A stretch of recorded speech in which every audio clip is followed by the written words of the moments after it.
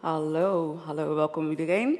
Welkom in de kunsthal en uh, welkom die iedereen thuis, uh, uh, of aan iedereen die thuis meekijkt. Mijn naam is Jill Phillips. Ik ben editor-in-chief van Clown Mag, paaldansinstructeur en je favoriete token straight person. en ehm, vandaag modereer ik het panel Diversity and Inclusion in Education. En nou ja, Scholen zijn natuurlijk plekken waar wij meer doen dan leren. We leren vakken, maar we leren ook over het leven. We groeien erop. Um, en het vormt ons op een hele belangrijke manier. En de klimaat op school heeft direct invloed op hoe wij leren, maar ook op hoe wij onze medestudenten behandelen natuurlijk. En uh, docenten doen er natuurlijk al alles aan om ervoor te zorgen dat hun klassen veilige plekken zijn. Maar uh, ja, desondanks blijft het zo dat uh, studenten die deel uitmaken van de LGBTQAI community ehm, een hele andere schoolervaring hebben dan uh, studenten die geen deel uitmaken van die community. Dus um, ja, in dit panel bespreken we hoe leraren en studenten um, ja, van scholen een betere en veilige uh, en inclusievere community kunnen maken voor queer studenten. En voordat ik mijn panelisten aan jullie voorstel, wil ik jullie een vraag stellen. Hoeveel van jullie zijn deel of maken deel uit van de, van de LGBT community? Oké, en hoeveel van jullie hebben jullie daardoor uitgesloten gevoelen op school? Ja, ja daarom is dit zo'n belangrijk gesprek. Omdat uh, ja, ons hoop en ons doel is eigenlijk dat uh, als we dit gesprek over tien jaar hebben, dat er helemaal geen handen meer omhoog gaan.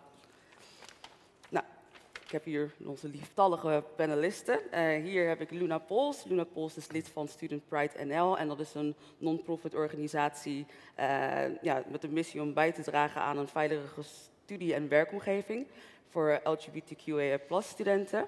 En uh, Luna heeft onlangs een toolbox ontwikkeld voor hogere scholen, um, ja, die als handleiding fungeert en hun tips en adviezen moet geven over hoe ze de inclusiviteit kunnen vergroten. Dan hebben we Fabian, Fabian Lips, de voorzitter van Erasmus Pride. En dat is een studentenorganisatie die zich inzet voor het faciliteren van safer spaces.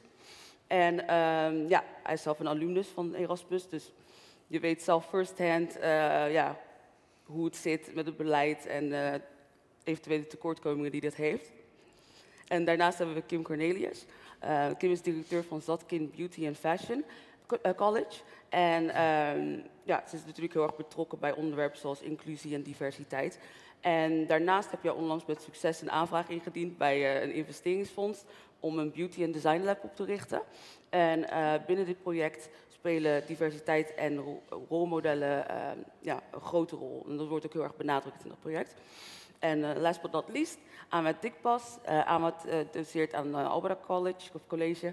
En hij is leraar burgerschap en hij zet zich in voor het creëren van bewustzijn rondom gender en seksualiteit. En hij is natuurlijk heel erg begaan met het bespreken van dit soort onderwerpen met zijn studenten en het creëren van een veilige omgeving.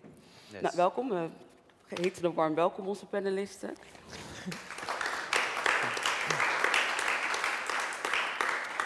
Nou, ik begin bij uh, Luna, want jij hebt inderdaad onlangs die toolbox gemaakt uh, voor Student Pride en de handleiding. En uh, voor je onderzoek sprak je met een aantal studenten. Ja, klopt. En mijn vraag is, wat kwam er uit deze gesprekken vooral naar voren? Ja, wat het meest opviel eigenlijk bij studenten die ik sprak, was dat ze niet per se het idee hadden dat uh, docenten niet uh, daar voor wilden zijn of inclusief voor hem wilden zijn, maar dat ze vooral gewoon uh, niet, um, ja, dat de kennis een beetje miste. Dus als ze dan naar een docent stapt van bijvoorbeeld, hé, hey, ik ben non-binair, dat de docent dan niet wist wat dat was. En dan is natuurlijk, ja, het hele idee dat er dan nog verder iets mee gaat gebeuren vanuit die docent is dan al een beetje weg. Mm. Dus dat, ja, heel veel in het begin al zit in, uh, ik denk, docenten bewust maken van wie zijn eigenlijk je studenten en wat, wat hebben zij nodig met verschillende identiteiten. Mm. Ja, dus in principe ja. komt het erop neer dat ze wisten dat het niet onwil was, maar meer onkunde. Dat, is, dat de leraren waarschijnlijk gewoon niet wisten hoe ze dat moesten aanpakken door ja, gebrek precies. aan kennis. Ja. Mm, okay. En um, ja, in de inleiding van je um, ja, verslag, want ik heb het natuurlijk gelezen, stond er dat je een bepaalde scepticisme ervaarde tegenover het onderwerp en dat dat wel eens werd bevestigd. En ja, waar was je dan precies sceptisch over en hoe werd dit bevestigd? Waar ik sceptisch over was of andere, andere mensen? Ja, ehm, ja, je mag iedereen scepticisme meenemen. Oh, ja. Nee, ja, ik had aan deze toolbox was zeg maar eh, mijn afstudeeropdracht. En vanuit school, eh, vanuit docenten en dan mijn afstudeerbegeleider vanuit school, kreeg ik vooral de scepticisme van ja, we hebben zoveel toolboxen hier in laadjes liggen en er wordt nooit iets mee gedaan. En zou je nou wel een toolbox doen? En ehm, ja, eigenlijk dat een beetje. Dus daardoor werd ik een beetje ontmoedigd van ja, dus Mhm. nu ga ik al deze moeite doen hiervoor. En dan wordt er niks mee gedaan, terwijl het wel iets is wat ik belangrijk vind. Ja. Dus daardoor ging ik toen een beetje twijfelen of dit nou wel echt was wat eh, het onderwijs meer inclusief zou maken als het weer in een lijstje zou verdwij- verdwijnen. ja. Eh, dus dat, Oké. ja. En de studenten die je sprak, waar waren die sceptisch over? Die waren minder sceptisch volgens mij. Oh, Ja. goed. Oh, Ja. dat is een mooi teken. Ja. Dus dat is Ja. not all hope is lost, hè? Ja, ik merkte in elk geval. En ehm, ja, Fabian, je bent zelf eh, ehm, student geweest en nu ook eh, voorzitter van eh, Erasmus Pride. En je hebt natuurlijk zelf ook te maken gehad met gevolgen van bepaald beleid ehm, als student. En is er een specifieke ervaring die ervoor heeft gezorgd dat je deel uit wilde maken van Erasmus Pride? Of was het gewoon een accumulatie van ervaringen?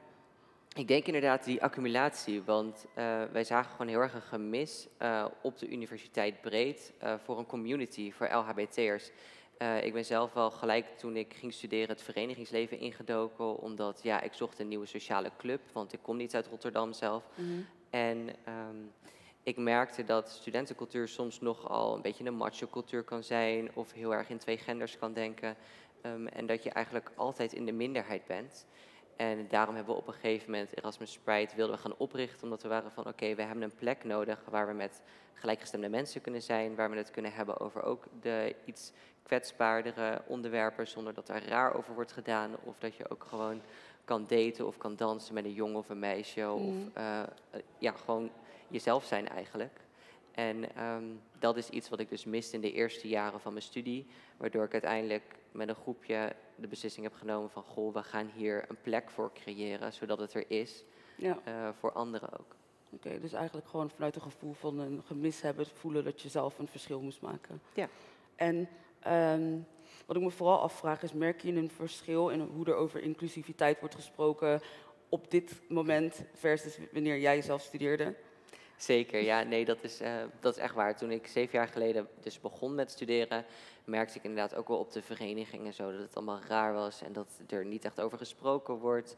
Ehm, en dat je eigenlijk normaal moest doen om erbij te passen, of, eh, of je werd raar aangekeken als je dat niet deed.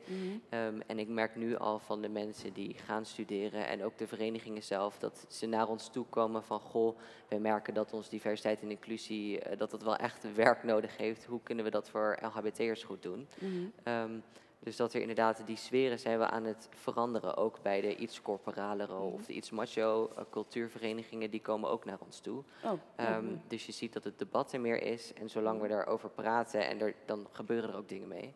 Eh, dus dat vind ik wel tof om te zien dat er in ieder geval inderdaad een, eh, een stijgende lijn in zit. Dankjewel. En eh, ja, Kim, je hebt onlangs die eh, financiële steun ontvangen op Beauty Design Lab eh, te beginnen. Dus gefeliciteerd daarmee. Dankjewel. Maar ehm, ja, binnen dit project wordt diversiteit en het belang van rolmodellen gehighlight. Maar ik ben benieuwd hoe dat er dan uit gaat zien. Eh, daar hebben we een grote scala aan partners voor, dus dat gaan we niet alleen doen. En in het lab beogen we om de onkunde van docenten, want die is er gewoon heel vaak, om docenten dus echt mee te nemen, maar ook studenten. En we gaan samenwerken met sociale partners, zoals Dress voor Succes en Everyday People, maar ook met een magazine. En daarin beogen we elke keer een andere doelgroep eh, in het, ja, op een podium te zetten en een proces door te maken met een gastredacteur en een creatief. En daar komt dan een eindproduct uit. En dat kan iedereen online lezen. En zo komen alle doelgroepen aan bod. Want ik denk dat het superbelangrijk is dat al onze studenten heel veel rolmodellen gaan zien. Ja. En heel veel mensen gaan ontmoeten. En dat is voor en voor hun eigen ontwikkeling. Maar we werken natuurlijk op het MBO. Hè. We bereiden voor voor de beroepspraktijk. En ik denk dat het heel goed is als je schoonheidsspecialist bent, dat je ook alle soorten mensen kan verwachten in je, in je eigen zaak of de zaak waar je werkt. Zonder Mhm. dat je daar vreemd van opkijkt. Dus het eh, heeft meerdere kanten. Ja. Ja, ja, ik kan me inderdaad nog herinneren, jaren geleden, ehm, dan werd ik wel eens gevraagd om model te staan voor iemand. En dan was het soort van, oh, donkere modellen. Oeh, weet je wat, dat was soort van een hele spannende dag in Beauty College. En ik vind het heel tof om te horen dat er nu aan, eh, wat aan gedaan wordt op deze manier. En eh, je zegt dat je hulp krijgt van heel veel verschillende eh, ja, organisaties, dat er partners zijn die meewerken. En ehm, ja, heb je bijvoorbeeld een voorbeeld van welke partners dat dan zijn en in hoeverre, hoe groot hun rol zal zijn in, in de Beauty en Design Lab? Ja, we gaan samenwerken met West voor Succes, maar dan zitten we in een andere doelgroep. Dat is echt voor inclusie. Dus mensen krijgen daar eh, kleding om te gaan solliciteren. Maar dat is een heel mooi en concreet voorbeeld. En die kunnen dan bij ons een nieuw eh, kapsel krijgen. En bijvoorbeeld haar, eh, ja, informatie hoe ze het beste make-up op kunnen brengen. Of we maken ze op voordat ze op sollicitatiegesprek gaan. En zo hebben we allerlei partners om die inclusie en diversiteit te borgen. Ja, dank je. En dan heb ik nog een vraag voor Ahmed. Eh, of een paar zelfs. Ja. Van, ja, als leraar zie je natuurlijk directe gevolgen van eh, inclusiviteit of het gebrek daaraan in de klas. En, eh, en ook aan het groepsdynamiek in de klas. En hoe pak je het aan als je merkt dat een student anders wordt behandeld door bijvoorbeeld hun seksualiteit of hun genderexpressie? Nou, het is denk ik, het is net al benoemd, hè, de onkunde van docenten. En er is één belangrijk iets wat ja, prioriteit heeft bij het eh, omgaan met eh, lastige gesprekken in de klas. En dat is dat je cultureel responsief lesgeeft. Nou, wat houdt dat in? Dat je zelf eerst bewust bent van je eigen bias, je eigen vooroordelen. Ehm, want beide hebben effect voor de sfeer in de klas. Als je dat als docent eh, daar niet bewust van bent of ja, dat wegschuift, ja, dan kan je dit soort thema's niet eh, bespreken. En wat ik altijd eh, in een klas eh, altijd doe, is ik zoek naar de gemene delers. Eh, simpel voorbeeld, je hebt misschien in een klas een student die is homoseksueel en een student die is streng gelovig. Ehm, en ja, eh, eh, die, eh, ze kunnen beide kunnen ze door de maatschappij worden uitgesloten. Nou, wat is dan de gemene deler die je hebt?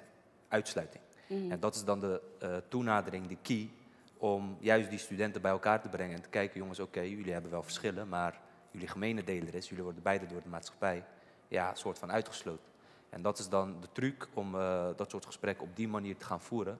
Maar ehm, nogmaals, het is eh, essentieel van belang dat een docent cultureel responsief lesgeeft. Dus zelf weet, ja, één, wat voor vlees heb je in de kuip?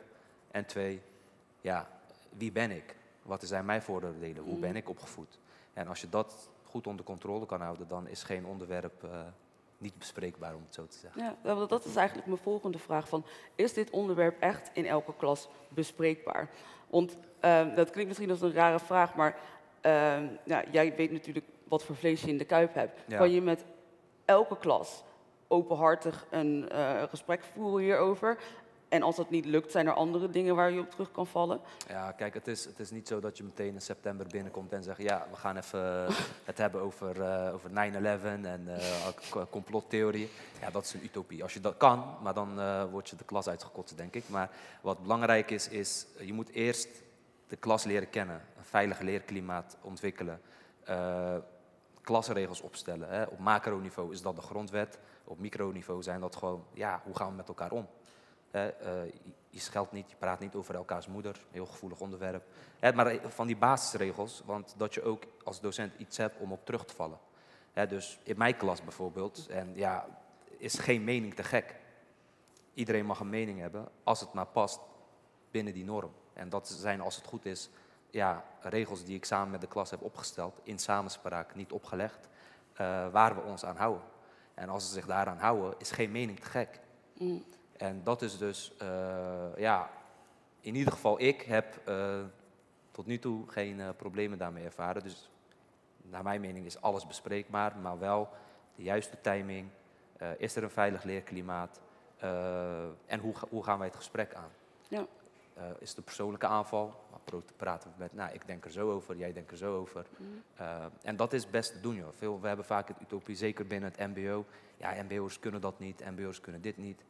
Maar ja, dat is gewoon bullshit. Want Ja. ja. je, kan gewoon alles, je kan gewoon alles met die kids bespreken. Ja, oké. Ja. En dan heb ik een vraag, want ehm, ja, ik heb nu al een duidelijk beeld van hoe dat er dan uitziet in de, de klas bij jou. En hoe ziet dat gesprek er dan uit bij Zatkien? Wordt het gesprek op dezelfde manier gevoerd in de klas op, op die manier? Ja, ja, en mijn collega zit daar. Dus die kan dat ook beamen. Eh, zij kennen elkaar ook heel goed. Ja, Het het is heel belangrijk om een veilig leerklimaat te hebben en afspraken te maken in de klas. En ik denk ook dat die bias, hè, hoe zit ik erin, is belangrijk. Maar daarvoor komt misschien nog wel iets van, durf ik mezelf ook kwetsbaar op te stellen? Als mens, maar dus ook als docent. Want misschien weet je niet alles, maar kun je gewoon zeggen, ik weet niet alles, dus jullie kunnen me als klas ook aanvullen. En ik kan ook dingen van jullie leren. En dan krijg je inderdaad die gelijkwaardigheid, mhm. die super belangrijk is. Ja. Ook in een klaslokaal.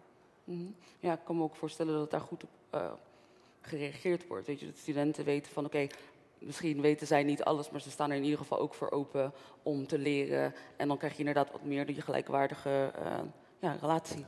Ja, mooi. Maar wat wel een toevoeging hierop is wel Kijk, zeker als ik namens MBO uh, eh, Albeda Zatkin uh, toch twee grote reuzen binnen het Rotterdamse, is um, je moet die docenten wel die tools geven. Want binnen het MBO, hoe gek ook, je kan een PDG-traject halen en je staat voor de klas. Mm. Um, en ja, maar dan heb je te maken met allemaal kinderen, je hebt heel de wereld in je klas, maar je hebt in dat PDG-traject heb je misschien niet gehad hoe je lastige thema's bespreekbaar moet maken. Terwijl er gerichte opleidingen zijn op de leraaropleiding, alhoewel die ook niet allemaal helemaal uh, goed zijn ingevuld. Mhm. hè? Dus ook een kritiek naar de leraaropleidingen toe. Uh, voeg dit in het curriculum toe.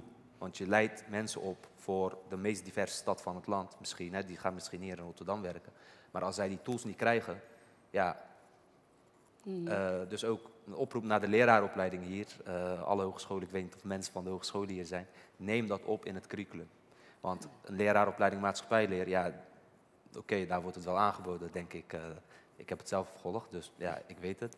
Maar ja, een leraar Frans, een leraar Duits, die zou dit ook bespreekbaar moeten kunnen maken. En met dan de terugkoppeling naar de organisatie. Uh, wat doe jij als organisatie voor je docenten dat zij dit soort thema's wel bespreekbaar kunnen maken? Mm. Ja, dus in principe zeg je van uh, ja, leraren moeten gewoon backed up worden hierin. Dus dat het niet 100% bij hen ligt, maar dat ze weten dat de organisatie hen de middelen geeft om dit goed aan te pakken, is wat je zegt.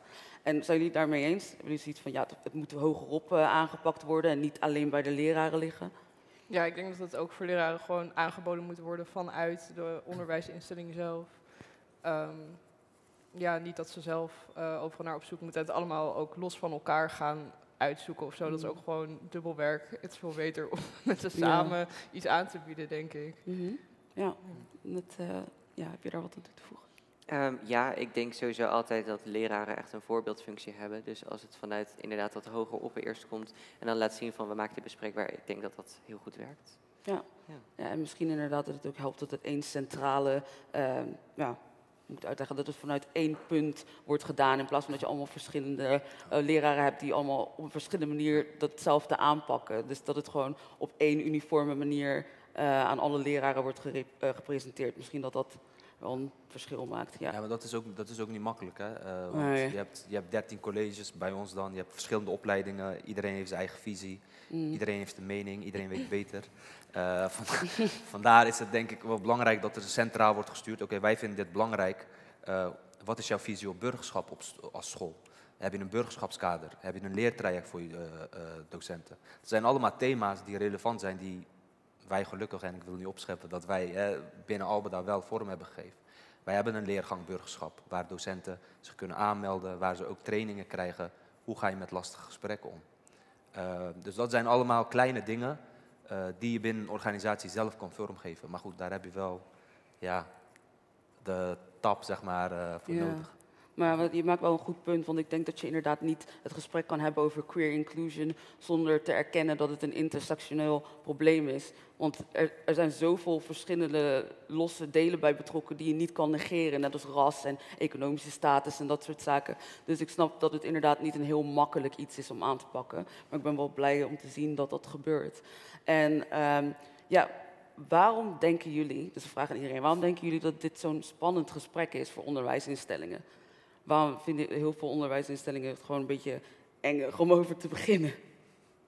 Ik, ik, denk persoonlijk omdat veel mensen er gewoon nog niet zoveel over weten. En het is heel moeilijk om aan de slag te gaan met een groep waarvan je niet weet hoe iedereen zijn achtergrond precies is, hoe iedereen over iets denkt. Maar ook um, ja, dat ze zich misschien ook veroordeeld voelen door studenten die wel tot de LBTI plus community behoren, dat ze dan iets gaan bespreken waar ze eigenlijk niks over weten en dan misschien worden aangewezen op iets wat ze dan fout uh, doen of zeggen. Mhm. Ik denk dat dat het best wel spannend maakt om erover te beginnen. Ja, gewoon een beetje bang voor het oordeel van uh, uh, ja, de groep zelf. Ja, ja, en misschien ook wat er gaat botsen in de groep als je het onderwerp aankaart. Ja. En Fabian, hoe zie jij dat? Ja, ik denk dat het zelf, um, als ik puur kijk naar de universiteit, dat het misschien lastig is om zo'n onderwerp te bespreken, omdat de universiteit wat anders qua onderwijs ook in elkaar, in elkaar zit. Omdat het veel meer grootschalig is met colleges en kleine werkgroepen die niet per se door leraren, maar door tutors worden gegeven. Dus dat um, zie ik ook wel van, ja, hoe maak je zoiets bespreekbaar als het niet in de stof bijvoorbeeld past? Want als je een uh, studie filosofie of psychologie doet, dan kom, komen dat soort onderwerpen veel eerder aan bod dan, ik heb bijvoorbeeld zelf economie en rechten gedaan, dan, nou bij economie sowieso niet. En bij rechten wordt het dan heel erg vanuit een juridische insteek gedaan. Mm. Maar die thema's lijken misschien wat lastig in de stof te verweven zijn. Ja. Dus um, ik denk dat daar die afstand lastig is en dat vooral de LHBT-thema's interessant zijn in de sociale aspecten van studeren. Dus inderdaad, wat ik al zeg, in het verenigingsleven of op campus. Um, dat, dat je daar probeert die insteek te vinden. Dus ik denk vanuit universitair oogpunt dat het daar um, het, ja, het lastpunt eigenlijk ligt. Nou, je snijdt wel een, goed, uh, een punt aan die, die uh, interessant is. Omdat, ja, als je, je moet het inderdaad kunnen verweven in de ook, lijkt me Ja. toch. Het, want dit is een onderwerp die verder gaat dan de klas, maar ook als je bijvoorbeeld nooit literatuur leest van LGBTQ eh, eh, schrijvers of eh, people of color of, of zoiets, dan blijft het alsnog een beetje gescheiden. Ehm, ja, nu doe je bijvoorbeeld beauty en fashion. Is het, denk je, makkelijker om in dat vak materiaal te gebruiken van, van queer people of people of color? Ik weet niet of het makkelijker is. Wat het in MBO natuurlijk wel is, is dat je eh, echt in klasverband heel veel dingen doet. Heel veel docenten met regelmaat ziet. En dat je ook echt fysiek na corona gelukkig weer bij elkaar in de klas bent. En dan bouw je natuurlijk wel veel meer een band op als dat je in een hoorcollege zit. Mhm. Uh, en met MBO-studenten kun je juist heel goed dit gesprek voeren. En in mijn college is het ook wel vrij makkelijk en ook heel geaccepteerd om het daarover te hebben.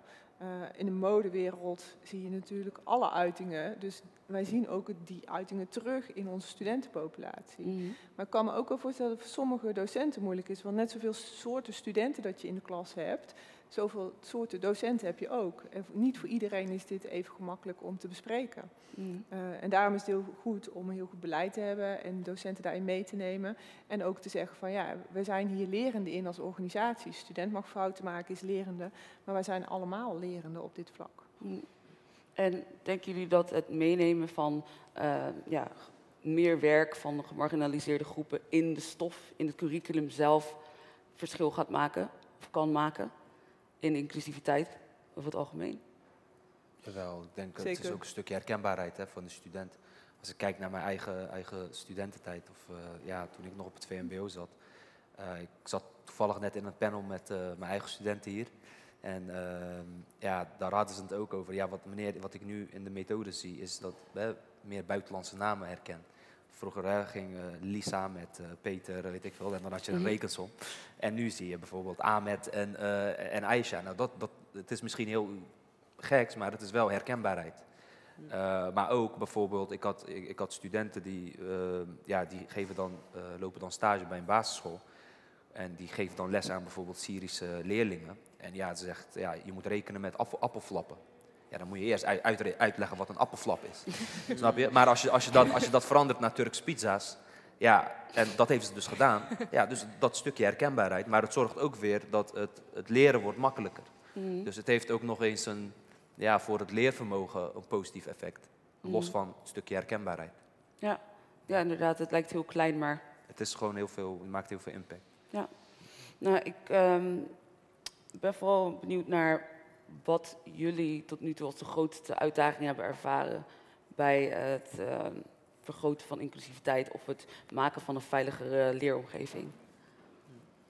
Nou, ik denk dat de grootste uitdaging is om docenten te bereiken die nog niet helemaal het belang ervan inzien. Want nu heb je dan docenten die denken, oké, ik wil iets meer aan inclusiviteit doen. Eh, wat kan ik daar doen? Oh, er is een toolbox, ik ga hiermee aan de slag. En dan is de wil er een beetje. Mhm. Maar ik weet niet zo goed hoe je het bij dan docenten brengt of onderwijsinstellingen die dit niet een belangrijk onderwerp vinden of zo. Ja. Dat is wel een grote uitdaging. Ja, ik- dus ja, het moet inderdaad wel een beetje ehm, ja, intrinsieke motivatie Ja, hebben ja, om daaraan precies. bij te willen dragen. En ja, denken jullie dat het gebrek aan het, ja, denken jullie dat het gebrek aan dit als lesmateriaal aan studenten of aan docenten, eh, dat dat bijdraagt aan zo'n docent die zegt van, nou ja, weet je, het is te ver van mijn bedshow of ik doe een beetje wat er in die toolbox staat, maar verder heb ik er niet echt een, eh, een gevoel bij. Want ja, als het niet vanuit de opleiding wordt, eh, van hen wordt gevraagd dat ze zich hierin verdiepen. Ja, het is wel gewoon extra werk waar je niet voor betaald wordt, zeg maar. Mhm. Ja, Ja. oké. Ja. Interessant punt. Ja, en eh, jij, hoe zie je dat? eh, ja, wat was voor jou dan de grootste uitdaging? Ik denk met het oprichten van Erasmus Pride en echt zo'n community bouwen, ehm, is het vooral een van de grootste ja, lastpunten weer die wij hebben gehad, is hoe verschillend eigenlijk de LGBT plus community is. Want ik ben zelf dan een witte cis homo man, eh, maar dat is weer heel anders dan een lesbische vrouw of iemand eh, met een andere afkomst ook nog. Dat is dat intersectionaliteit component daarvan. Eh, ik heb ook nooit ja, nagedacht over mijn genderidentiteit, of in ieder geval me daar anders in gevoeld of raar. Ehm, dus dat zijn allemaal punten waarvan je bent op een gegeven moment wel een community aan het maken en je moet weten van wat hebben deze mensen nodig. Eh, wat, eh, wat, waar, komen, waar lopen zij tegenaan? Eh bijvoorbeeld genderneutrale toiletten op de, de universiteit. Dat is een probleem waar ik zelf nooit mee te maken heb gehad. Eh, maar andere mensen in mijn community wel. Dus met community building is het gewoon heel erg, ehm, ja, is het lastig punt geweest kijken wat, wat heeft de community allemaal nodig en hoe, hoe reik je dat toe? Hoe zorg je dat het er ook komt bij die mensen? Want de universiteit is zo groot met duizenden studenten ook. Hoe zorgen dat je juist die mensen ook benadert die, eh, die zo'n community nodig hebben? Ja. Ehm, dus dat. En eh, ja, wat is voor jou de grootste uitdaging? Ik zou graag willen, en ik denk dat dat de grootste uitdaging is, dat het een soort van vanzelfsprekend en onopvallend is dat iedereen welkom is. Ehm, al die kenmerken die je net beschrijft, je, het is heel, als je daarover gaat hebben, dan, en natuurlijk moeten we het gesprek daarover voeren, dan is het allemaal heel expliciet, maar het zou zo mooi zijn als iedereen gewoon ergens binnenkomt en van nature zich welkom voelt. Volgens mij is dat de grootste uitdaging. Ja, En niet alleen op scholen, maar vooral ook op scholen, omdat we gewoon met een doelgroep te maken hebben die nog heel erg zoekende zijn vaak, hun identiteit nog moeten vormen. Ja. Ja. Eigenlijk aansluitend op mijn eh, collega hiernaast. Het zou eigenlijk een, eh, vaak hè, wordt tenminste gedacht, diversiteit en inclusie, oh, dat is een projectje daar, poppetje hier. En kijk ons, wij zijn inclusief bezig. Ehm, het zou eigenlijk een soort van organisatiecultuur moeten worden en van ja, de facilitaire medewerkers tot aan top van het bestuur. Het moet gewoon leven. En dat je zo'n schoolgebouw binnenkomt eh, en dat je denkt van oké, ik voel me hier, hè, we hebben het net over safer spaces. Eh, ik voel me hier thuis, ik ben hier welkom. Eh, of ik nou facilitair medewerker ben bij ICT-werk, student ben of docent ben. Ja, die vibe zeg maar creëren, ja, dat is nog, nogal een uitdaging. Eh, maar goed, we zijn op de goede weg om het zo te zeggen. Ja. Ja. En hoe activeer je medestudenten om ook te geven om dat doel? Want inderdaad, ehm, er zijn studenten bij wie dit nooit een issue is. Die passen gewoon perfect in de mal van society. Die misschien white en, en cis zijn en, en male en gewoon van goede komaf. Hoe zorg je ervoor dat die ook gaan geven om dat doel? Omdat het zo ver van hun beleving staat, maar dat ze wel een grote rol spelen in het vergroten van die, dat gevoel van onveiligheid. Dus hoe kun je ervoor zorgen dat zij ook gaan geven om, om, de, Ja, kijk, weet je, verschillende meningen die mogen er altijd zijn. Dus we hoeven er, er niet mee eens te zijn. Als maar bewust zijn en weten, eh, dit is er, dit speelt er. ehm, je gaat hier gewoon netjes met elkaar om. En je hoeft het niet met elkaar eens te zijn. Hè? Het is niet zo dat we ook dan een soort van indoctrineren van eh, luister, diversiteit en inclusie. Je moet het eens zijn met ons beleid. Dat hoeft niet. Maar als je wel met respect met elkaar omgaat en die bewustzijn creëert bij jezelf van oké, eh, het is een heel grappig voorbeeld. Hè. Ik eh, doe dit nu al twee, tweeënhalf jaar, niet lesgeven, ik ben ook projectleider. Ehm, dat wij dit o- eh, op de agenda hebben gezet met Coming Out Day. We hebben een eh, Pride ontbijt georganiseerd. We hebben een, eh, ja, we zijn begonnen met de vlaghijsen, zeg maar, symbolische dingen. Maar tijdens dat Pride-ontbijt hadden we bijvoorbeeld ook studenten die niet uit die community komen. Ehm, en wat ik dan van een student heb gehoord, ja meneer, u organiseert dit wel, maar eh, het zijn allemaal mensen uit die community. Maar ja, dus dan creëer je eigenlijk, je wilt inclusie, maar je creëert eigenlijk exclusie, want eh, ja, waar zijn wij dan? Mm. En je wilt juist dat die twee toenadering zoeken. Ja. Eh, volgens, ja, die studenten waren ook aanwezig tijdens dat ontbijt. En ja, meneer, ik ben het misschien niet helemaal eens, maar ik respecteer ze wel en ik accepteer ze wel. En dat is voor mij als docent het belangrijke. Wat je daar verder nog in jezelf mee, denkt of mee doet, ja, dat zou mijn worst wezen. Maar eh, ja, dat gesprek laten plaatsvinden en met, constant met elkaar in gesprek gaan, ja, me- dat is het meest waardevolle wat er is. Want ik krijg ook heel vaak vragen, meneer, jij bent Turks, je bent moslim, eh what's up? Ja, eh, maar dan geef ik als antwoord, juist omdat ik moslim ben, mijn geloof zegt ook leven en laat leven. Je bent niet belangrijker dan de ander. Dat is ook een perspectief die ik kan bieden vanuit het geloof. Dus ehm, ja, het is gewoon, maar als, als dat gesprek niet plaatsvindt, dan weet die student niet hoe ik erin sta. Ja. En weet ik niet hoe hij denkt. En ik denk dat eh, het juist belangrijk is dat dat gesprek altijd plaatsvindt. Ehm, en ja, ik hoop dat dat dan in de toekomst, dat, het, dat we het gesprek niet meer, dat nodig is, zeg maar, om dit soort dingen ja, te bewerkstelligen, zeg maar. Ja, ja. En ehm, wat ik vooral interessant vind, omdat ja, jij bent ook niet deel van deze community, maar wel heel erg begaan met het ehm, ja, betrekken ervan en zorgen voor inclusiviteit. Ik vraag me ook af wat, wat jij hebt geleerd in dit proces. Kijk, Pride is voor mij, dat heb ik net ook al verteld. Ik, volgens mij, mijn collega's die, eh, gaan dit voor de tweede keer horen en de, geluidsman ook. Eh, eh, wat voor mij, Pride is niet alleen voor mij eh, je gender of hè, welke seksuele voorkeur je hebt, maar ook wie je bent en dat je daar trots op mag zijn. Of je nou Turks bent, moslim bent, een hoofddoek draagt, eh, eh, homoseksueel bent. Je bent gewoon trots op wie je bent en je mag er zijn. En ik ben ook 2-3-0 achter begonnen hè, in deze maatschappij. Ik kom ook van een buurt waar het niet altijd makkelijk ging. Ik heb ook, ben ook ondergeadviseerd geweest, et cetera. Waarschijnlijk ben ik ook, eh, heb ik ook te maken gehad met discriminatie.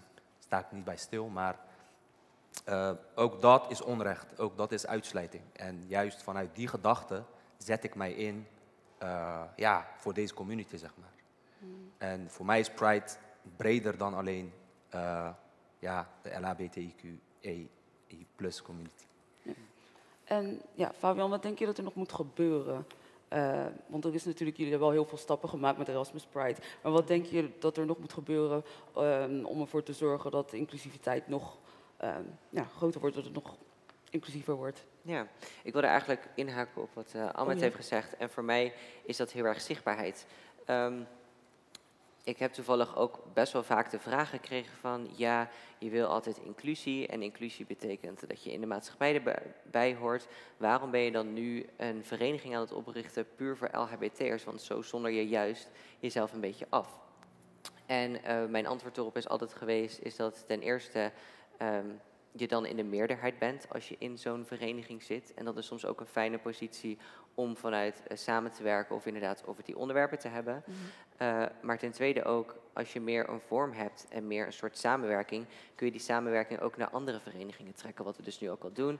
Eh, sta je sterker in het hele universitaire aspect, met ook samenwerken en die zichtbaarheid en ook sponsoring. Ehm, en op die manier, door inderdaad te gaan samenwerken en door echt zo'n eh, zichtbaar aspect te hebben op de universiteit, ehm, gaan er mensen over praten. Als ik op een informatiemarkt sta met een stand vol met vlaggen, komen er mensen er naartoe. Niet per se mensen die LHBT'er zijn, maar toch mensen van, goh, waarom staan jullie hier? Wat doen jullie hier zo? Ehm, en op die manier raak je eh, in gesprek. Als je met een andere vereniging een leuke activiteit neerzet, dan mix je een soort van twee werelden, om het zo maar even te noemen. Ehm, en dan zien ze hoe de andere wereld ook is. Eh, Zeker ook, dat hoor je heel veel op de universiteit. Ik kom zelf niet uit Rotterdam. Er zijn een heleboel studenten die naar de grote stad komen om te studeren. Ehm, Rotterdam is ook heel multicultureel. En dan praat ik met mensen die zeggen: Ja, ik kom uit een klein dorp. Ik heb nog nooit eh, een donker persoon gezien, bijvoorbeeld. Ik heb nog nooit een homo gezien of een non-binair persoon. Ehm, dus dan praat je er ook niet over. Dan weet je ook niet wat het is en dan weet je ook niet wat die mensen meemaken en wat hun perspectief is. Mhm. Ehm, dus die zichtbaarheid zorgt er juist voor dat je dat gesprek gaande krijgt en dat je inderdaad op die manier met wederzijds respect leert over elkaar en Ja. eh, vooral ook leert samenleven. Ja, dat vooral, ja. Ja, ik snap het. En inderdaad gewoon, ehm, ik, ik snap ook het hele punt van, ja, je wilt iedereen erbij betrekken, dus moet je dan wel aparte clubjes Mhm. maken. Eh, het korte antwoord is waarschijnlijk gewoon ja. Toch? ja. Sommige mensen moeten gewoon hun eigen plek hebben, eh, omdat eh, de wereld niet per se een veilige plek voor hen is. En op die manier, wat jij zegt, krijg jij dat mensen nieuwsgierig worden naar wat er dan allemaal in die groep speelt. En dat ze dan op je aflopen. Dus ik, ik, ja, goed punt. En ehm, over de toolbox, ik heb daar nog een vraag over. Ehm, scholen hebben gevraagd om een toolbox.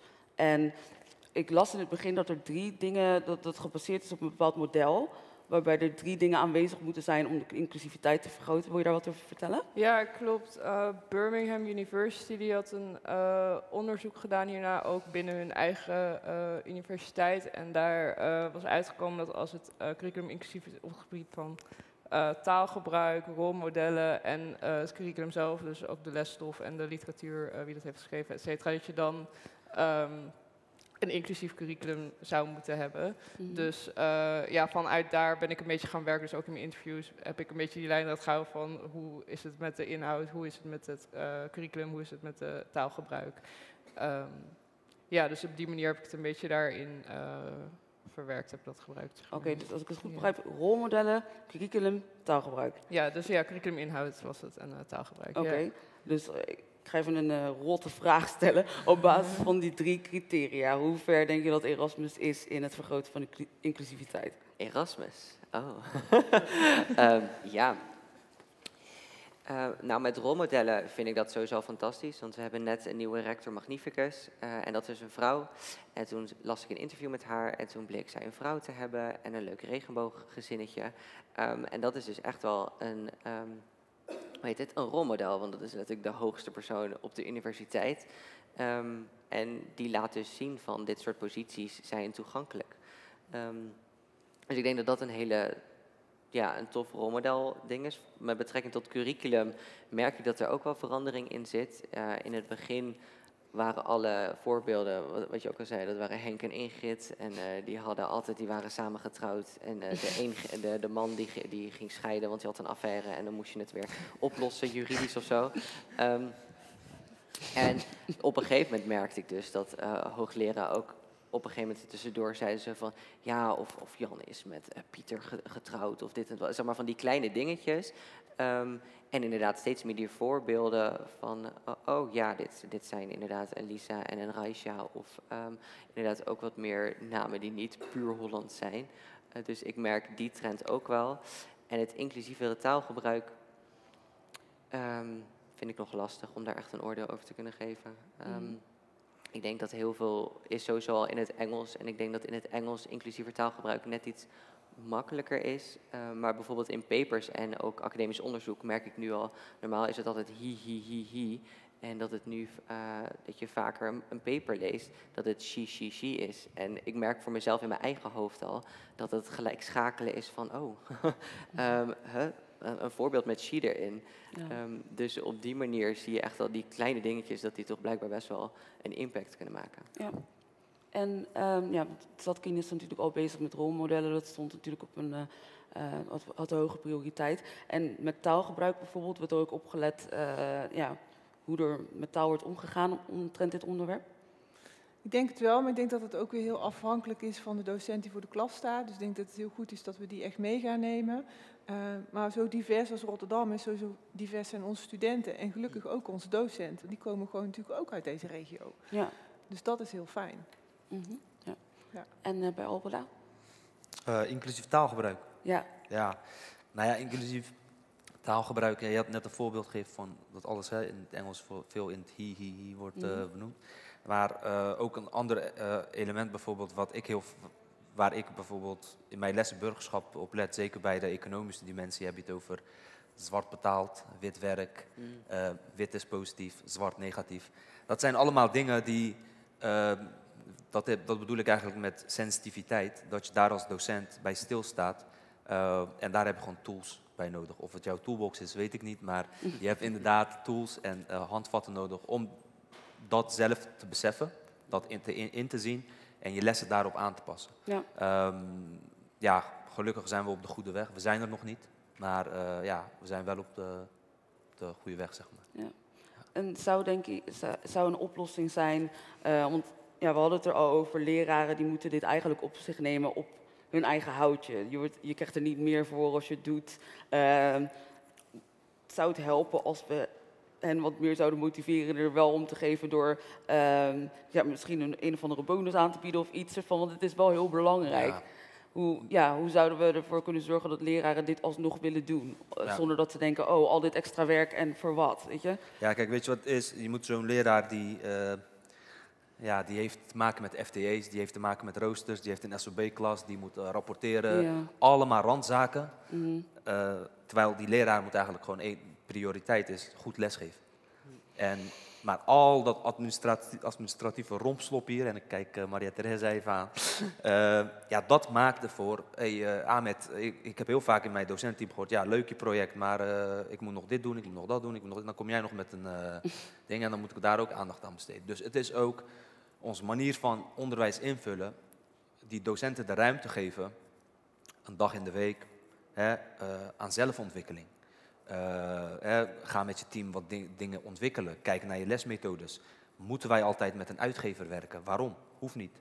Hè, wij zijn nu bijvoorbeeld bij ons sociaal eh, pedagogisch werk, of tenminste bij sociaal werker, daar, dat is de opleiding waar ik werk.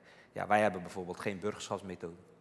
Wij, hebben, wij schrijven onze eigen, eigen, eigen burgerschapsmethode. Hmm. Maar goed, dat, dat moet wel een onderwijsinstelling, of nou eh, het management dan in dit geval, die moet daar gewoon tijd en ruimte voor hebben. Of geven aan, de, aan, zijn, aan zijn personeel. En dat, dat stukje, ja, daar zit het hem eigenlijk in. Want het is, je hebt gewoon geen tijd. Ja, Ja, je, wil, je bent wel één FTE aan het werk en je, dat is niet één FTE lesgeven, zeg maar. Je bent Mhm. met een miljoen andere dingen bezig. En ja, dan gaat dat eigenlijk waar het om draait, goed lesgeven. Ja, dat eh, wordt een beetje het ondergeschoven kindje eigenlijk. Ja, Ja. ja. dus er komt zoveel bij kijken dat je eigenlijk niet kan doen waarvoor je er bent. In principe allemaal eh, extra bureaucratische dingen. Ja. En wat ik me afvraag, en dit is ook een beetje een soort van een edgy vraag, van ben je te laat als je dit gesprek pas hebt op de middelbare school en op de? Zijn we te laat dan? Hebben we al een, een, een opportunity, een kans gemist om het eerder te doen? Want nu lijkt het meer op het genezen van een issue in plaats van gewoon vroeg beginnen en het voorkomen ervan. Ik denk, niet, ik denk dat het nooit te laat is, maar ik denk wel dat het voordelig zou zijn om eerder te beginnen sowieso. Mhm, Ja. ja, want inderdaad, dit zijn al hogescholen. Je bent al voor het grootste deel gevormd. Je hebt al je idee over de wereld een beetje. Hè? En dan eh, moet je nu opeens dingen over een eh, andere boeg gaan gooien. En mensen houden van verandering. dus ik kan me voorstellen dat dat uitdagingen met zich meebrengt. Maar wat jij zegt is, het is nooit te laat. Het is wel goed dat we het nu doen. eh, in plaats van eh, dat we zeggen, nou, hè, it's a last cause. Ja, maar ik zou wel zeker aanmoedigen om er op de basisschool mee te beginnen. Ja. Dat Ja. maakt het ook in de toekomst makkelijker om erover te praten. Het is niet zo'n blok om dat hele onderwerp eh, Mhm. bespreekbaar te maken. Want Ja. dan is het al bespreekbaar. Juist, ja. En hoe denken jullie daarover? En zeker op de basisschool beginnen, eh, maar op het mbo en op de hbo zeker en op de universiteit ook nog het gesprek voeren en ook aandacht voor hebben. Want iedereen heeft op een andere leeftijd behoefte aan het gesprek, aan een rolmodel. eh, dus dat, dat houdt niet op. Mhm. Maar het begint thuis. Het begint thuis bij de ouders, het gezin waar ze opgroeien, de verzorgers waar eh, kinderen zitten. Daar begint het. Dan begint het op de basisschool. Eh, gelukkig verandert de maatschappij ook in televisieseries en dat soort dingen, want het is toch ook eh, waar iedereen mee te maken heeft. Mhm. Maar moet- je moet het doortrekken, Ja. gewoon eigenlijk heel het leven. En doen scholen nu ook meer eraan om hun personeel eh, diverser te maken? Zodat ze ook meer LGBTQIA plus mensen aannemen, meer people of color. Want ik bedoel, als je dat niet doet, dan ben je gewoon... eh, ja, wat ben je dan aan het doen, eigenlijk? Ja, eh, wij hebben Charter Diversiteit in Bedrijf ondertekend als Albeda. Eh, daarmee committeren wij aan ons een aantal doelen. Dat klinkt misschien eng, maar, eh, eng, maar we hebben gewoon over x aantal jaar hebben we gezegd... zoveel vrouwen aan de top, zoveel mensen, hè, ehm, met een beperking die een ruimte krijgen binnen bijvoorbeeld in het management of ja, binnen Albeda. En ehm, ja, vaak hoor je dan, weet je, ja, eigenlijk ben je, dan, ben je dan niet aan het discrimineren. Maar er is een disbalans. En om een balans terecht te trekken, moet je ongelijk behandelen. Dus om gelijk, gelijke behandeling te creëren, moet je ongelijk behandelen. En wij hebben ons uh, eh, 10 december, we zijn nu bijna een jaar, uh, ja, hebben wij ons gecommitteerd aan het charter. En daar zitten allemaal andere bedrijven aan gekoppeld. Uh, dus ja, wij zijn in dat opzicht wel bezig daarmee. Ja. Nou, goed, en bij dat Kien? Ook, zeker. Fijn, ja. ja. Inderdaad, want je kan inderdaad niet dit gesprek hebben zonder het echt door te voeren naar boven. Van je kan dit gesprekken hebben in de hallen, maar als je nog steeds witte leraren hebt en alleen maar witte mannelijke leraren of alleen maar hetero leraren, dan, weet je, dan is het gewoon een beetje lip service. En hoe zit het nou met de, de queer studenten op jullie uh, school of waar, ja, waar jullie mee te maken hebben? Van hoe krijg je die zo ver dat ze zich veilig genoeg voelen om ook naar je toe te komen als er bijvoorbeeld iets aan de hand is. Want ik heb het gevoel, wat je zegt, zichtbaarheid is belangrijk, zodat ze je weten te vinden. Maar stel de school heeft niet zo'n ja, zo'n zichtbare club waar mensen heen kunnen. Hoe zorg je er dan voor dat ze zich toch veilig genoeg voelen om aan te kunnen geven als ze zich anders behandeld voelen in de hallen of, of wat dan ook?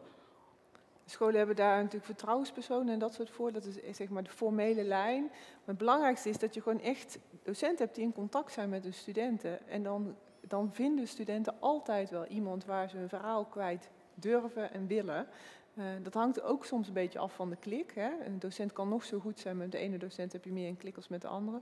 onderwijs is gewoon gebaat bij samen fysiek in een ruimte zijn en contact maken. En daarom was het ook zo erg dat alles online moest. Mm. Ja. En eh, hoe hebben jullie deze veiligheid gewaarborgd op momenten dat we niet samen konden zijn? Want natuurlijk tijdens de pandemie uh, was dat, lijkt mij heel lastig om uh... Ja, wij hadden natuurlijk het geluk dat we een praktijkopleiding hebben. En wij mochten in kleinere groepen wel nog studenten naar school laten komen. En we hadden wel de afstand en we hadden alle protocollen. Maar wij konden onze studenten nog wel steeds zien. En mm. kwetsbare studenten hebben al die tijd naar school gemogen. Dus wij hebben nooit, zoals op de universiteit of op heel veel hbo-opleidingen, echt de deur gesloten voor studenten. Mm. Dat maakt het echt heel anders. Ja, ja. ja. ja. En ja, hoe ging dat dan bij Erasmus? Dus hoe zorg je dan voor dat die doelgroep alsnog uh, gezien wordt? Ja, het is bij Erasmus um, heel zwaar geweest. Um, dat was ook, ze hebben op een gegeven moment een, um, ja, mentaal, een mentale weerbaarheidsonderzoek gedaan uh, onder de studenten. En er kwam uit dat uh, ja, gewoon de mentale gezondheid van studenten echt een tik heeft gekregen omdat alles op slot is gegaan. En dat was nog heftiger bij LGBT plus studenten, mm. uh, omdat die dan vaak een soort van gevangen zitten, misschien in een onprettige thuissituatie of met huisgenoten die, waarmee ze niet um, matchen in ieder geval.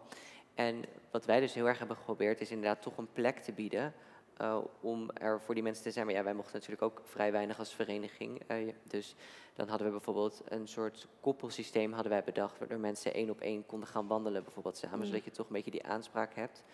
Um, maar het is inderdaad uh, pittige tijd geweest voor, voor LHBT-studenten. Ja. Um, en dat zien alle verenigingen zien en dat überhaupt studenten het zwaar hebben gehad. Want ze zitten allemaal aan ledenstops en het aantal actieve um, studenten is enorm toegenomen. Omdat ze dus buiten de universiteit aanspraak zochten en inderdaad hun clubjes zochten. Uh, wij hebben dat ook gezien. Wij hebben nu meer dan 200 leden. We zijn bijna verdubbeld. Uh, eh, 100 leden in één jaar en toen 200 leden in jaar twee. Voor een beginnende vereniging is dat enorm. En ik denk dat dat juist komt inderdaad uh, vanwege die zichtbaarheid en vanwege dat ik heb een plek nodig om het over deze dingen te hebben. Ja. Ja, inderdaad. Want, eh, ja, met de gemarginaliseerde groepen hebben we echt een klap gehad uh, de afgelopen jaar. Dat kunnen we niet ontkennen. Um, maar ja, fijn dat er dan dat soort initiatieven in het leven zijn geroepen. Um, zijn er bij jullie bijvoorbeeld ook andere initiatieven ontstaan in de eh, pandemie? Nieuwe initiatieven? Dat ik weet. ja, bij ons, uh, ons Pride-netwerk, die hadden wij natuurlijk al uh, voor de pandemie, uh, stond dat nog in de kinderschoenen. zouden we uit gaan rollen en toen kwam ja, corona. maar goed, dit schooljaar gaan we het, hebben we het weer opgepakt. Nu met Rotterdam Pride ook. Ik heb twee topdocenten daar die ook aangesloten zijn bij ons Pride-netwerk. En ja, Cecile Adriaans, die kennen jullie denk ik. Zij zit in het bestuur van Rotterdam Pride.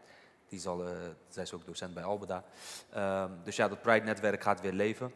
Ehm, en ja, wij hebben sowieso hoe wij contact hebben gehouden in die tijd. Nou ja, sowieso de formele lijn, hè, de zorgdocent. Maar daarnaast ook via Albeda Next. Dat is onze beweging met studenten, docenten en het bedrijfsleven. Waarin wij eigenlijk ja, in de lockdown in de avond webinars hebben gegeven. Hmm. Eh, en niet alleen een webinar van consumeren, maar in breakout rooms uh, hebben ze gewoon workshops gevolgd. En dat waren soms iets meer docenten dan studenten ook nog. Ehm, maar goed, eh, en ik heb daar gemerkt dat tijd eigenlijk niet uitmaakt. Want iedereen zit thuis, iedereen heeft een vorm van eenzaamheid. En dat zag je echt terug in die, in die webinars van Albeda Next. Waarin ja, studenten toch in een breakout room kwetsbaar met elkaar uh, ja, het gesprek aangingen over hele belangrijke onderwerpen. Um, dus ja, dat hebben wij zo vormgegeven en gelukkig uh, ja, hebben we 16 november onze fysieke evenement weer na anderhalf jaar stilgelegd. Uh, Dus ik heb daar enorm veel zin in. Ja, um, ja dat eigenlijk, dat zo hebben vormgegeven. Oké, ja. nou mooi. Nou, ik weet niet of jullie zo vragen hebben, um, want ik ben ook wel benieuwd naar ja, wat jullie dan denken en voelen. Er is iemand daar met een microfoon, dus als jullie vragen hebben, dan ja, kunnen jullie hand opsteken en dan uh, loopt het naar jullie toe. Maar ehm, ja, wat me vooral opvalt in dit gesprek is dat ehm, er is heel veel er is een hele positieve houding over hoe dat inclusief, inclusie mogelijk is. Want inderdaad, een paar jaar geleden is echt heel veel veranderd in een hele korte tijd. Want toen jij student was, was het al anders, zeven jaar geleden. En nu merk je dat dingen ook echt bespreekbaar zijn, ook over ras en uh, gewoon moeilijke onderwerpen, waar, waar we vroeger eigenlijk gewoon het liefst niet over spraken. En dat dat nu wel zo is, dat is echt heel mooi. En wordt jouw toolbox ook echt opgepakt door, door uh, verschillende instellingen? Ik denk dat Chantal er meer over komt. Die heeft contacten vanuit Student Pride Nederland. Oh. Met uh, docenten en onderwijs. Ik ben daar eigenlijk wel nieuwsgierig naar. Of zij daar een antwoord op kan geven. ja. Oh, kan de microfoon... Uh, ja, of je ons wat kan vertellen over hoe het gaat met de toolbox en of die wordt uh, opgepakt. Hartelijk dank voor het woord. Oh, wat netjes op anderhalve meter. ja, nee, ik kan er zeker wat over zeggen. Want uh, er zijn echt uh, veel uh, mensen uit het onderwijs, uit het hoger onderwijs, naar me toegekomen. via de e-mail, via de telefoon. Die echt hebben gevraagd van, oh, we hebben gehoord over die toolbox, we hebben erover gelezen. Mogen wij hem ook, we willen hem gaan toepassen. En dan heb ik het echt over mensen van hogescholen en universiteiten uit heel Nederland. Dus dat mm. is echt heel interessant. Mm. En Luna en ik worden ook steeds vaker gevraagd om over de toolbox te praten. Dus vanmorgen heb ik hem laten vallen bij het Erasmus MC. En straks gaan we een, uh, nou ja, ook een presentatie geven bij Hogeschool Rotterdam. En uh, ja, op deze manier uh, ja, moet ik zeggen dat in een hele korte tijd die toolbox best wel een begrip is, is geworden eigenlijk uh, op veel hogescholen en universiteiten. Dus wat dat betreft is die nooit onder in die la verdwenen, zoals die begeleider van Luna in het begin zei, waar ze bang voor was. Dus. Luna heeft het tegendeel bewezen en hij wordt echt heel actief gebruikt. Maar wat ik wel interessant vind is, want er was van, uh, ja, je zei je was sceptisch, omdat er zijn al zoveel toolboxen en die verdwijnen altijd in de la. Wat denken jullie dat deze toolbox zo anders maakt dan alle andere toolboxen die er zijn geweest? Want ja, als jij het antwoord weet. Ik zie Luna echt heel verschrikt kijken. ik heb gezegd dat ik hier zou zitten voor de extra support. Dus, uh, oh. uh, nou, waarom die uh, denk ik goed werkt, is dat we hem heel actief zijn gaan presenteren. Dus het is niet zo van we hebben een document en we sturen hem door en klaar. We zijn heel actief binnen hoger onderwijsinstellingen meetings gaan organiseren. Eerst online vanwege corona, maar nu ook fysiek. En uh, nou, Science Guide heeft twee keer uh, over ons geschreven. Dat heeft veel uh, geholpen. Um, dus daar hebben we ook heel veel bekendheid door gekregen. Dus ik denk eigenlijk, ja, je kunt iets maken, je kunt iets ontwikkelen, maar je moet hem ook wel even heel goed pitchen. En als je hem dan heel goed pitcht en mensen pakken hem op, dan gaat iets vliegen. Maar dat is wel noodzakelijk om te zorgen dat het bekendheid krijgt. En wat Luna heel goed heeft gedaan, is dat ze heel erg goed heeft opgelet. Hoe kan ik tools uh, meegeven in een toolbox die meteen inzetbaar zijn. Dus een docent hoeft er niet eerst over na te denken. Ja, een beetje wel is handig natuurlijk. Maar een docent hoeft er niet heel veel extra tijd in te stoppen. Een docent kan het meteen toepassen. Het kost niet heel veel extra tijd. En het is heel laagdrempelig gemaakt. Dus docenten hoeven niet hun hele curriculum overhoop te gooien. Maar ze kunnen al stapje voor stapje eh, zaken toe gaan passen. Dus hij is heel praktisch inzetbaar. Ja, dat heeft Luna echt eh, heel knap gedaan. En we krijgen heel veel complimenten erover. Dus Luna, bij deze nogmaals mijn complimenten. Nou, dank je. Applaus voor de toolbox. Dus in principe, als we het zo makkelijk mogelijk maken, eigenlijk dus gewoon eigenlijk stapsgewijs zeggen, leraar, dit moet je doen, dan zijn mensen eerder geneigd om het op te pakken. Wat logisch is, want uh, ja, Ahmed die vertelt net, ze hebben genoeg te doen. Dus laten we het niet moeilijker maken. Ja. En ja, ik ben eigenlijk wel nieuwsgierig, hebben jullie nog vragen voor elkaar? Zijn er dingen waarvan jullie denken, hoe doet deze instelling het? Of Ik wil eigenlijk alleen maar bevestigen dat de toolbox wordt uh, opgepakt. Omdat ik heb zelf ook, uh, toen ik nog de voorzitter was, ik ben net drie weken ben ik, uh, afgetreden. Maar tenminste heb ik het overgedragen, ik ben niet afgetreden. En um, daar ben ik dus daarvoor ook al in gesprek geweest met de Diversity and Inclusion Office van de Erasmus Universiteit. Die dus zo'n toolbox hebben opgepakt en die dat dus intern aan het vertalen zijn naar beleid. dus dat is al tof. Uh, ik denk, wat ik ook wel aan gaf vinden, ik heb ook met Luna gesproken in haar onderzoek, um, dat de universiteit heeft net een andere manier van lesgeven en van onderwijs. Dus die hebben misschien net iets meer moeite met echt het implementeren van de toolbox. Maar ze zijn er dus wel mee bezig. En dat vind ik wel tof. Uh, dat ik mhm. ook al concreet heb gezien van, um, oké, ik ben niet ik heb niet het gevoel alsof Erasmus Pride in zijn eentje bezig is met LHBT-inclusie.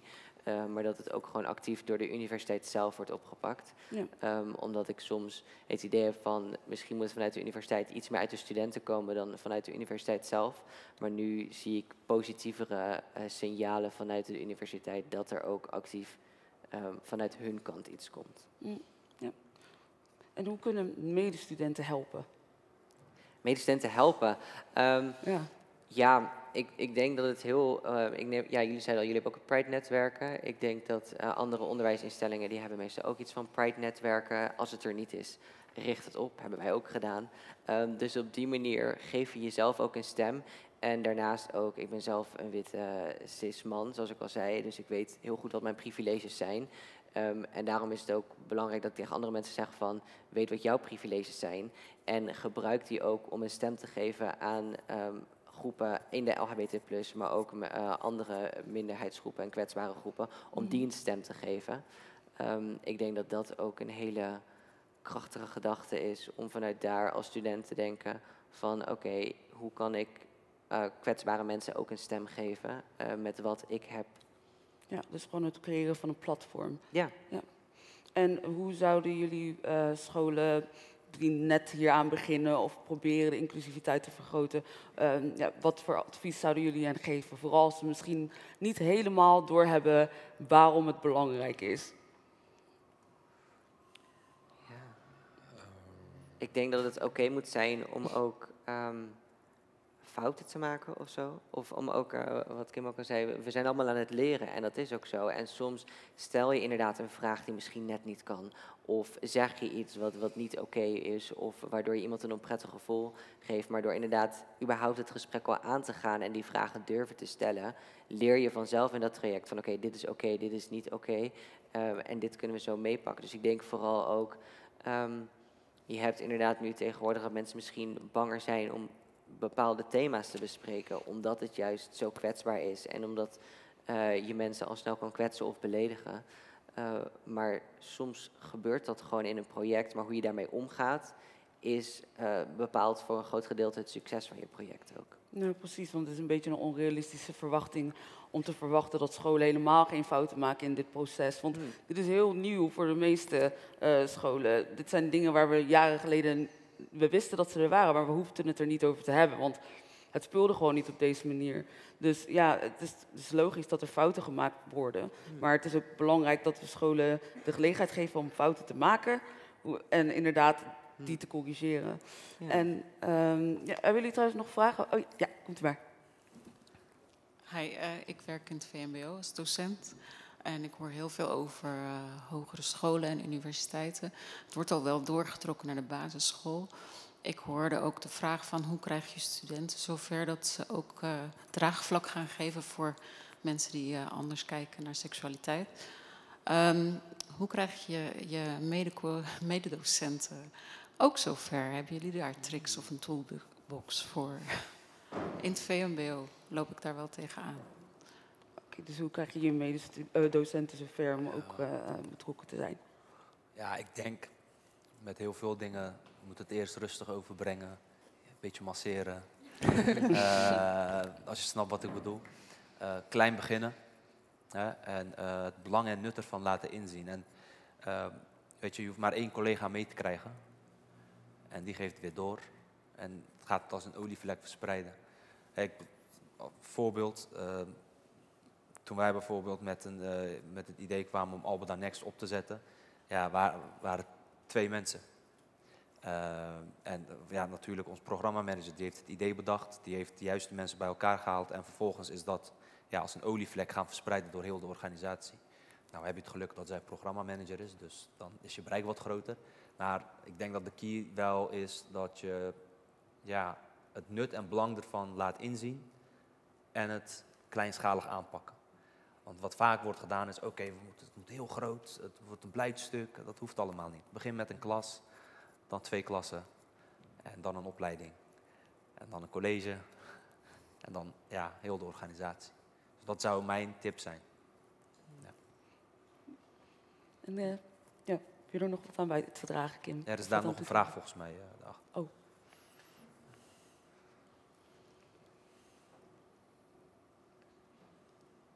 Goedendag, uh, Arne Verkerk, docent filosofie en Frans, middelbare scholen. Um, ik vraag me een beetje af, de algehele teneur van het gesprek is, het gaat de goede kant op. Uh, dat, die indruk die krijg ik ook, ja, vanuit de werkpraktijk.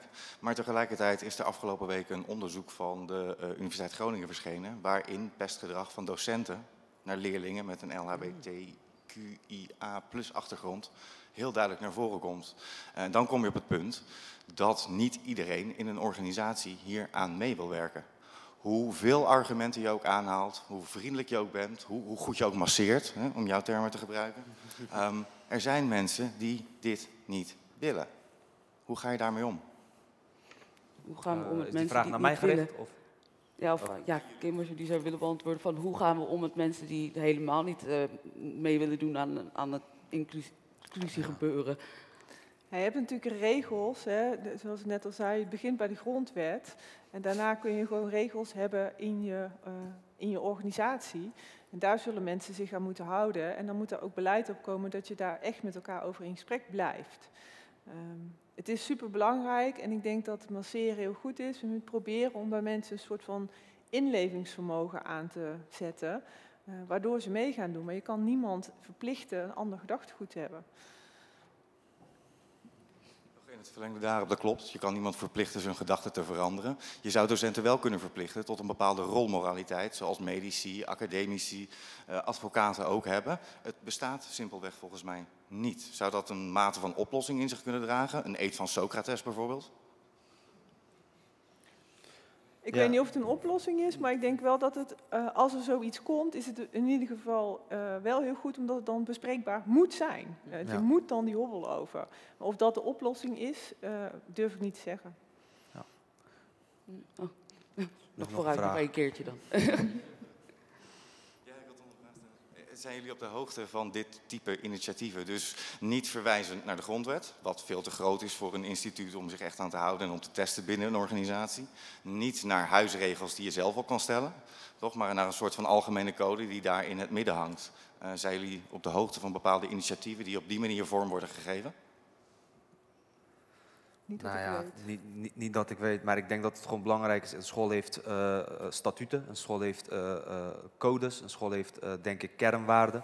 En ja, iedereen dient zich daaraan te houden. Kijk, het is heel lastig om binnen die vier muren een specifieke leraar te gaan controleren op... Doet hij, houdt hij zich er wel aan of houdt hij zich er niet aan? dus dat is heel lastig, zeker bij grote organisaties als Zatkin en Albeda, waar je 3000 medewerkers hebt en ruim 20.000 studenten. ja, dat is moeilijk controleerbaar. Uh, maar goed, wat mijn collega ook zegt, uh, ja, er, zijn bepaalde ja, regels en codes dat je als professional sowieso aan moet gaan houden. He, of, je nou, of je nou automonteur bent of docent, ja, je hebt gewoon een bepaalde professioneel, professionaliteit. En jouw eigen mening of je eigen, ja, hoe jij erin staat, dat doet er tot op een, een bepaald punt doet dat er wel toe, maar op een gegeven moment, ja, dat mag geen effect hebben op ja, jouw manier van lesgeven, zeg maar. De vraag waar ik een beetje mee zit is, doet de mening van een docent ertoe in deze? Ehm, net als bij een arts bijvoorbeeld, uh, daar staat heel duidelijk in, een arts mag niet handelen om met, uh, hoe zeg je dat, um, um, niet het doel, maar de uitkomst daarvan, dat mensen meer leed hebben dan dat ze daarvoor hebben. Hè, mag niet schaden, simpelweg. Zou je dat ook aan docenten verplicht kunnen stellen? ja, dat, je kan het proberen, maar ik zou het niet weten. Nou, bedankt. Dan, volgens mij zag ik trouwens nog één, één vraag. Oh ja, de laatste vraag en dan... Uh, ja.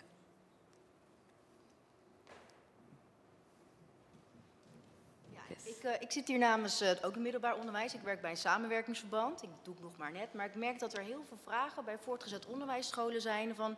Nou ja, hoe gaan we hiermee om? En ik, dat is wel iets waar ik naar aan het zoeken ben. Ik, er zijn heel veel verschillende toolboxen te vinden, allemaal verschillende initiatieven.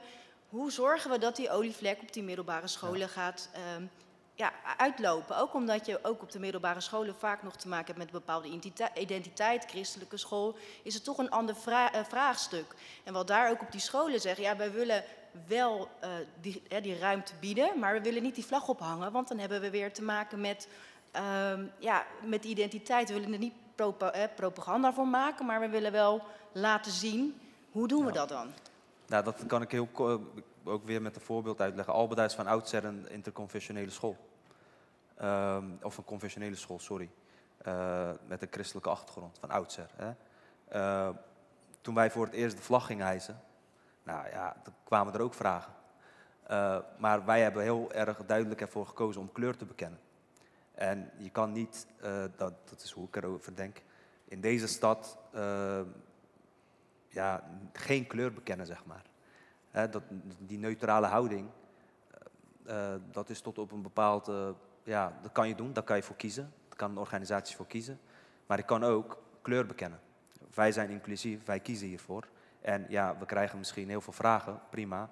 Maar dit is waar wij voor staan. En ik denk dat dat uh, hogerop besloten moet worden. Um, en dat een specifiek docent, ja, hoe erg je best je ook doet, ja, dan wordt het lastig. Dus het is gewoon ja, hoe je dat in de organisatie krijgt. Ja, je hebt gewoon een bestuur nodig en de juiste mensen op de juiste plaats uh, die aan de knoppen zitten, die hier ook over gaan. Ja. Uh, ja. En dat gaat niet altijd even makkelijk, uh, maar goed. Ja, bedankt dat voor is, vraag en bedankt voor je antwoord. Ja. En inderdaad, ik hoop dat uh, meerdere instellingen kleur zullen bekennen. Uh, in ieder geval bedankt voor jullie bijdrage. En een warm applaus voor onze panelisten. Ja, en bedankt voor het luisteren, bedankt voor het komen en uh, tot de volgende. Yes. yes.